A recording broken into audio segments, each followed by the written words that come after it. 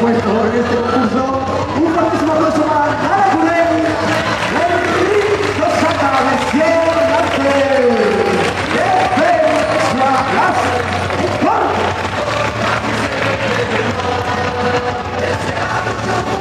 Y aquí vienen las auténticas ganadoras del día de ayer.